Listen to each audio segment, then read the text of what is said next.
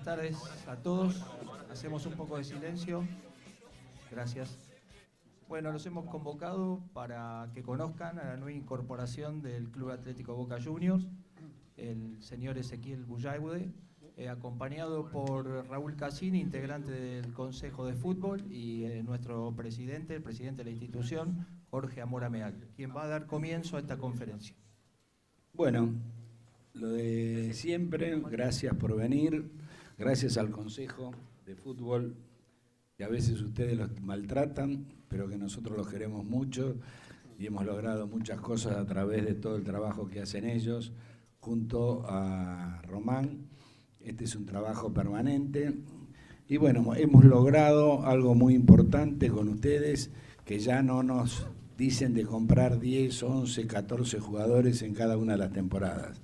Ahora saben que cuando nosotros tenemos el jugador que firma con nosotros, se lo comunicamos a ustedes y no hay tanto manoseo con tanto jugador que a veces nos duele por ellos y también nos duele por nosotros por manosear a la institución. Así que queremos presentar a Ezequiel. Eh, acá está con su novia, su representante.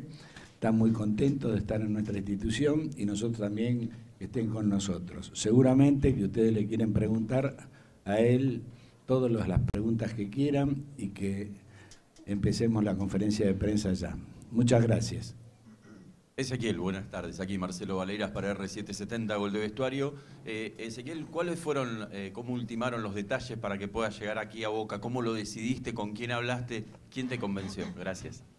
Buenas tardes. Creo que, bueno, una vez que llega el llamado de Boca, medio que se descartan todas las cosas porque uno sabe lo que significa este club. Y bueno, me comuniqué con mi representante que, obviamente me dijo el interés de Boca. Y del primer momento la verdad que no lo dudé y, bueno, la verdad que estoy muy contento de estar acá. Ezequiel, ¿cómo estás? Melina para el canal de Boca, te damos la bienvenida Atlético Boca Juniors oficialmente. Te vimos haciendo ya trabajos o por lo menos estando en Boca Predio. ¿Cómo viste el predio? ¿Cómo fue también ese primer contacto ya eh, con con el cuerpo técnico? ¿Qué nos puedes contar de tu primer día? No, la verdad que fue, fue algo muy lindo, algo muy esperado. Esta última semana he estado con muchas ganas de, empezar, así que, los chicos me recibieron muy bien, el cuerpo técnico me recibió bien, los dirigentes me recibieron bien. Y sí, estuvimos entregando a algunos de los chicos esta mañana y, fue todo muy lindo, fue relajado, así que, como te digo, estoy, estoy muy contento de estar acá y, y gracias a todos por la bienvenida. Ezequiel, acá atrás, fondo, ahí está. Ah, Fafi Pérez, estamos en vivo para Dispor Rayo. Tenés 22 años, eh, has pasado por Cruz, has debutado allí, has tenido tu experiencia en Europa. ¿Con qué futbolista se va a encontrar Jorge Almirón y el hincha de Boca cuando tengas tu debut? Y la verdad que, que creo que espero que se encuentre con un futbolista que, y le gusta mucho hacer goles, que le gusta mucho participar en las cosas ofensivas, obviamente con sacrificio a la hora de defender. Y espero poder aportar mucho y poder ayudar a este club a, cumplir sus objetivos. Ezequiel, ¿cómo estás? Estamos en vivo para Teis Sports. Eh, tenés 22 años eh, y no tuviste tanta continuidad en el Feyenoord eh, en las últimas temporadas.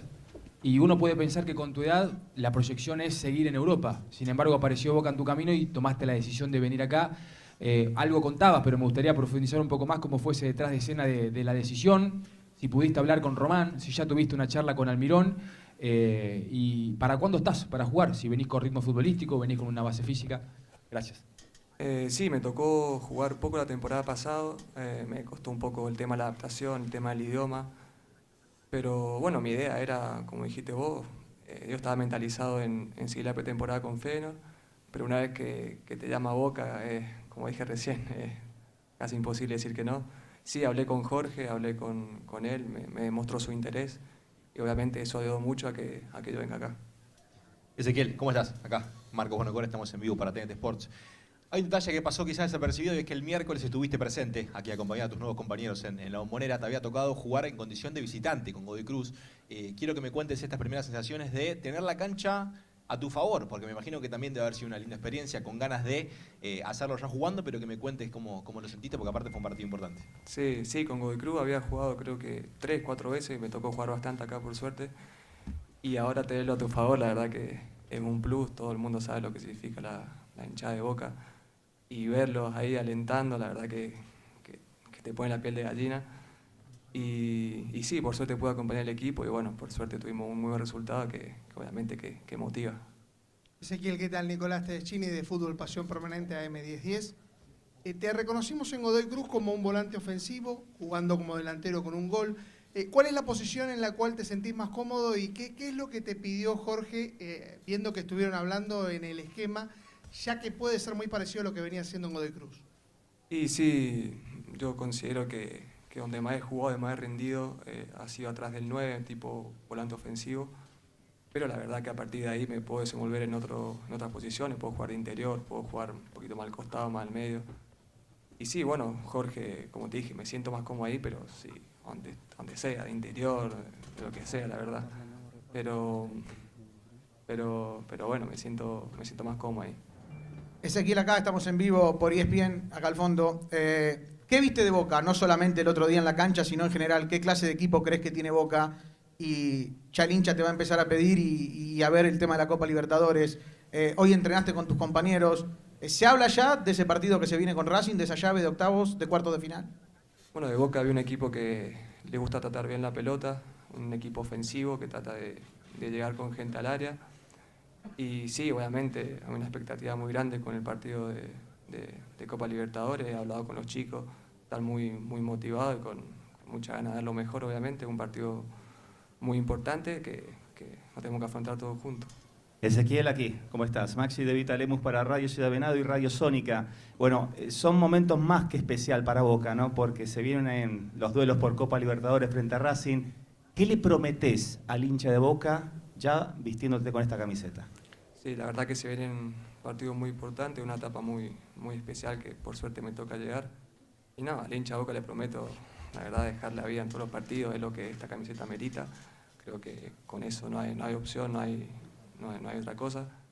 Pero sí, le prometo dejar la vida y tratar de hacer lo posible para cumplir los objetivos. bienvenido acá. Gustavo Pavón para la mitad más uno. Acá. ¿Cómo estás? Quería preguntar tus sensaciones. ¿Ya te pusiste la camiseta de boca? Te quería preguntar tus sensaciones.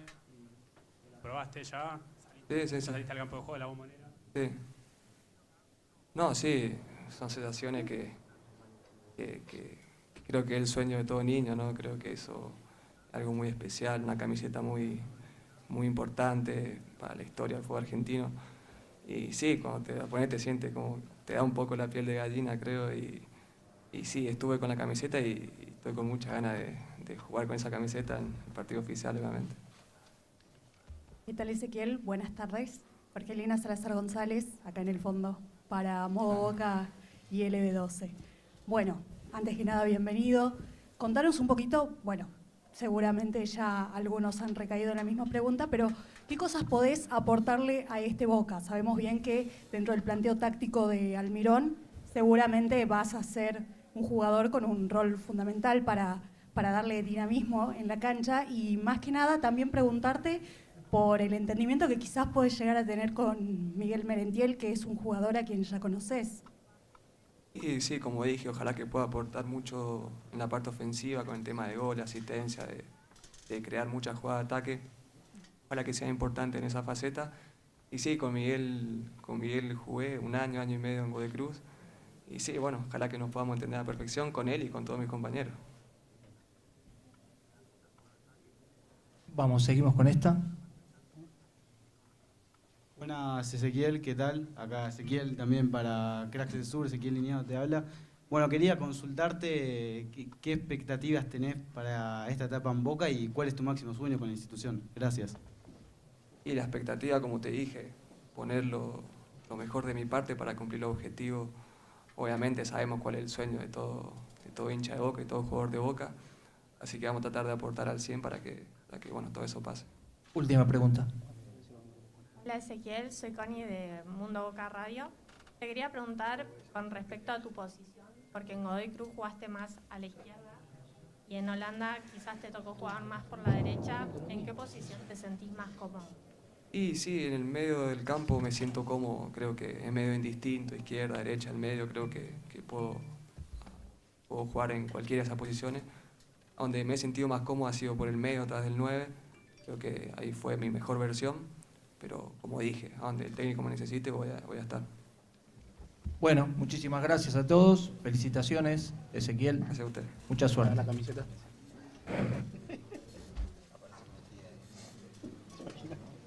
Abajo así no tapan las cámaras.